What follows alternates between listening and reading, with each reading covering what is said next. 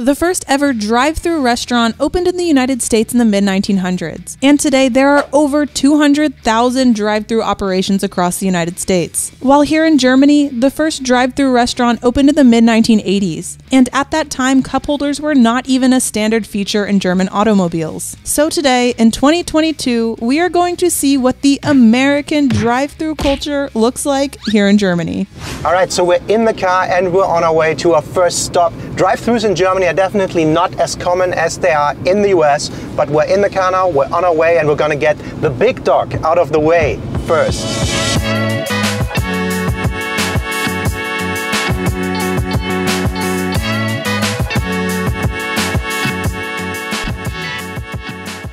Ooh, LCD screen. Hallo, ich hätte gerne einmal dieses Big Tasty Menü. Genau, mit den Curly Fries. Dann einmal den Grand Barbecue Cheese und sechs Spicy Nuggets bitte. Haben Sie diese, diese Butter Ranch Soße? Aber habe ich schon die Bestellung geschlossen. Können wir am Fenster noch irgendwie eine drauf machen oder zweite Bestellung mit der? Fahren Sie bis zum nächsten Salsa. Ich mag das vorne, ja? Ja, alles klar. Bitte. Danke. Check it, there's a flea market going on next door. Is it a drive-through flea market? It's a drive through flea market. Let's go. We got it, we got the goods. All right, meal one in the car. We went to McDonald's. yeah, McDonald's is definitely by far the biggest American food staple in Germany. It's the first one that popped up everywhere decades ago, before Burger King, before KFC, before Subway. McDonald's was most likely for most of the Germans the first ever drive-through they did in their lives. One thing that we notice, McDonald's in Germany is way better than McDonald's in the US. I think McDonald's all over the world is way better than in the US. It's so strange. Which is weird because it's the number one in the US as well, right? Let's just start with the Grand Barbecue Cheese. This is one of the signature burgers right now. It's their promotional burger. So this one's supposed to be the best one they have. This is gonna be a mess. We need napkins. I wonder if US people, Americans in general, are just better at eating in the car because it's so common, right? We got a nice slice of cheese on there. We got one patty. We got bacon that's already coming out on the other side. Hanging out. Uh, sauces all over the place. There's some grilled onions on there. The burger overall is pretty sloppily built, McDonald's, come on. But I guess that's the same around the world, right? 嗯哼。So there's barbecue sauce on it, not ketchup, which gives it this typical smokier flavor. It definitely looks nicer and heartier than the standard cheeseburger or double cheeseburger. You have even sesame seeds on the top and everything. I think this is better than anything you can get in the US. Did they not give us napkins? I think I'm missing a tomato on it. One thing that I love about the McDonald's in Germany is that they have this buttermilk ranch dip, which is so hard to find in Germany in general. Just any type of ranch. It's not a common thing. You order wings and you won't get ranch. But this one is not the standard ranch. It's this like orange version. Smoky version. And they have a promotional curly fries right now. Yeah, so, So, that's it's the best combo. oh yeah. Mhm. Oh, it's so good. I love this sauce. I could just drink it. I don't know if this is available in the US, but uh, buttermilk ranch dip. And I think curly fries are just superior. So this sauce reminds me a little bit of the Big Tasty sauce, which is the next burger we got. This is hands down my favorite burger in Germany.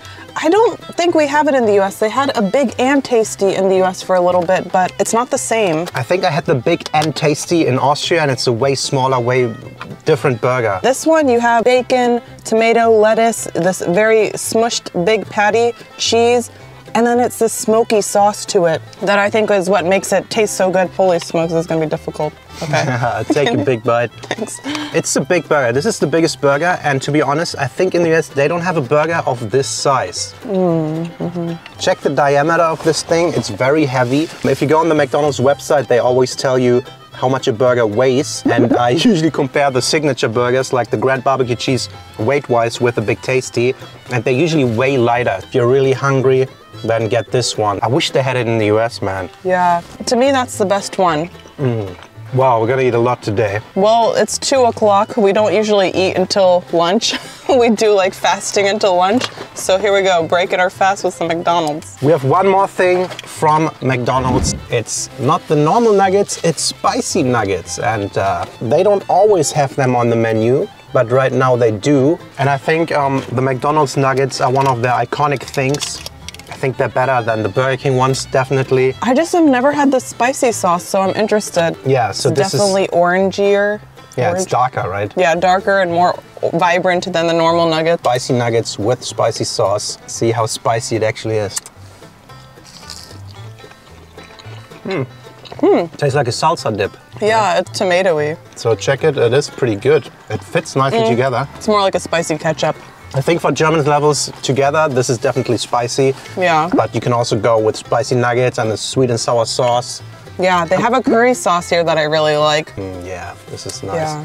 Okay, I think we might already have our caloric intake for the day in, but this was only stop one. So up next, we are doing something that is very common here in Germany. It's the meal in between lunch and dinner. The meal. it's Kaffee und Kuchen, Yeah. which has become my favorite time of the day. and we are going to a drive-through. Ooh. Woohoo!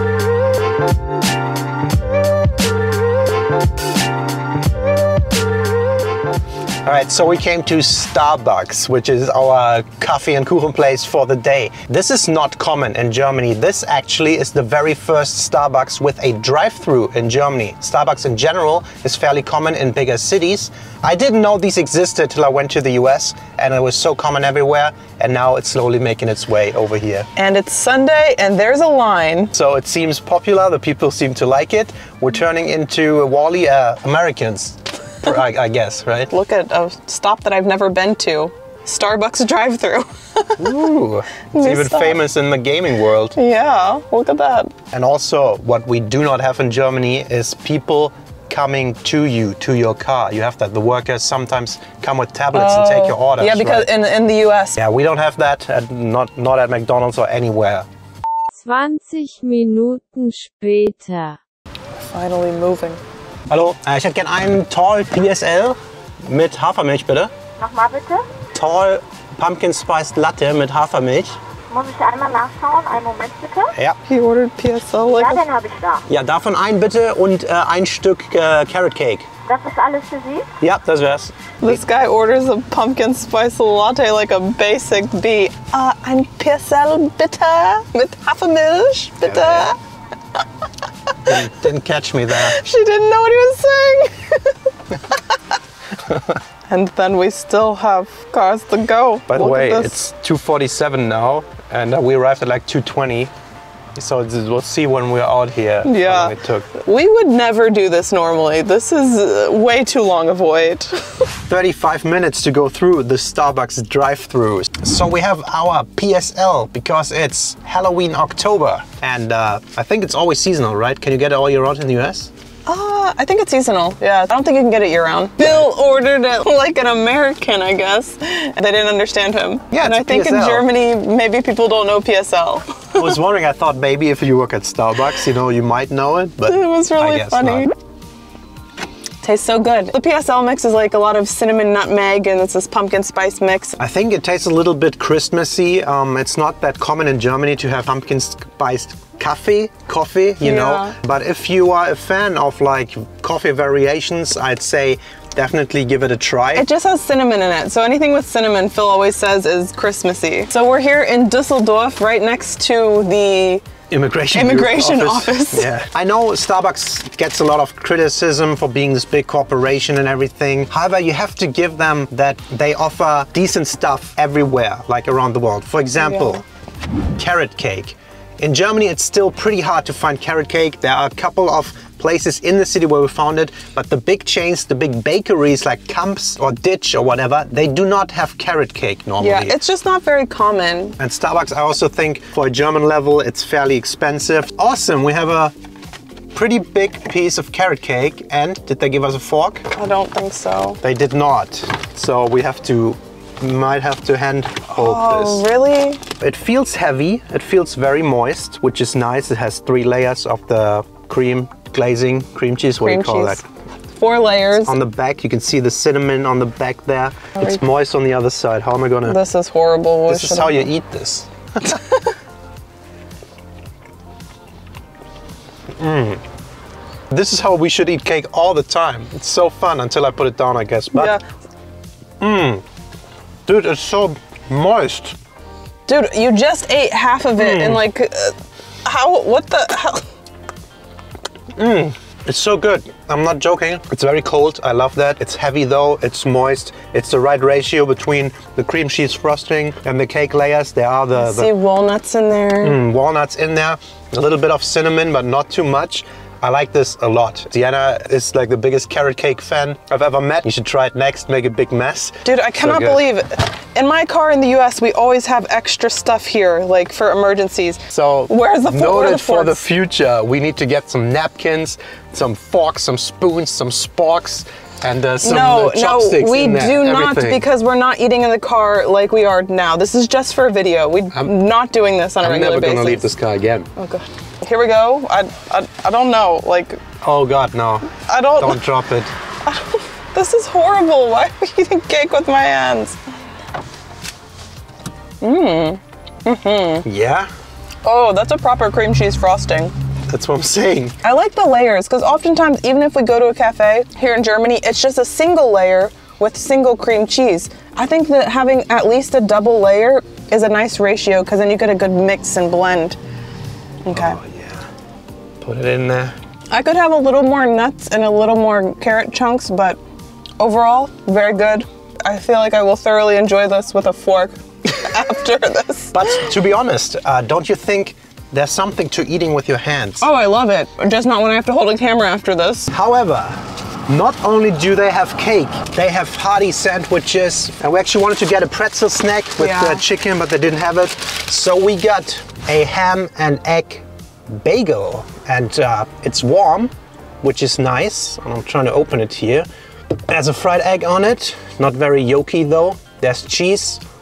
There's the bacon on the bottom, and uh, below that there's some white sauce and some like herbs. cheese and chives. Yeah. But it's a bagel. It's something that's harder to find, so Starbucks is a place that offers it. Mm. It looks like the standard microwave egg, you know, how at fast foods they microwave the eggs. No, I- what? What? They microwave the eggs Mm-hmm. at fast food places. It's good though. I'm surprised. It's warm, which I really like. So it's Oh, yeah. a very nice snack. It's again not on the cheap side, especially from a German perspective. Hmm. I really like that. It's very buttery. I Yeah. think that's a butter chive at the bottom. I think that's another thing. Starbucks food is a little underrated. Or most of the times you go to Starbucks for the coffee, right? Mm-hmm. Not bad. Good coffee and kuchen. Yeah, I miss bagels in general. Bagels are something I really love, and uh, it's not really here in Germany. PSL B H E bagel ham and egg.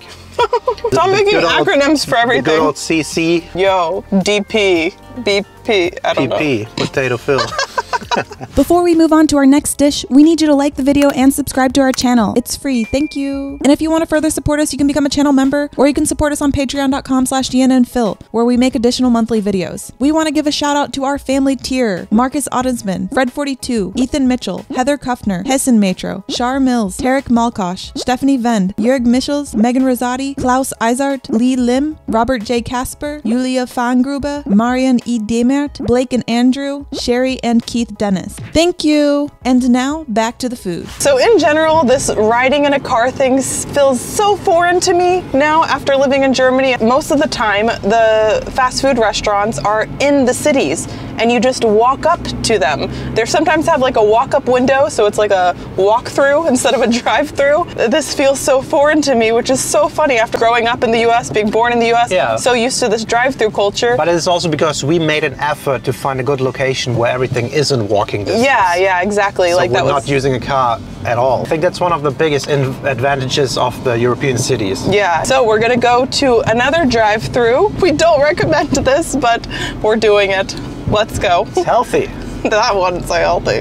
So here is another drive through. There's the drive through right there. We could go in there. We're not gonna go to KFC this time. We're going somewhere else.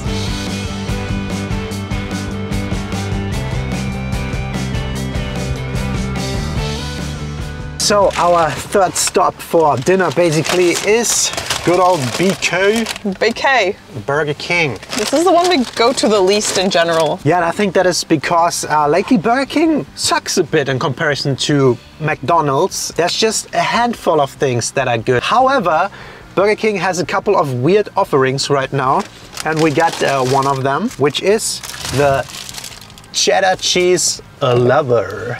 But we got this in vegetarian. Oh yeah, we got plant-based version. You can order it regular and then plant-based version. So it feels like a big burger. It's pretty heavy. Oh. Ooh, has a nice orange That's pretty. saturation Yeah, to this it. is- very orange sesame bun with uh, black and white seeds. Then we have lettuce. We have some cheesy sauce, cheesy dip sauce. Tomatoes. A little bit of onion, two slices of tomato, and then this is the star of it. This is a cheddar cheese ring, which is fried, a fried ring. Then we have a couple slices of pickle, the vegetarian patty, and then another slice of cheese between there. Wow, this is a very funky looking burger. So here we go, the cheddar cheese lover, vegan from Burger King.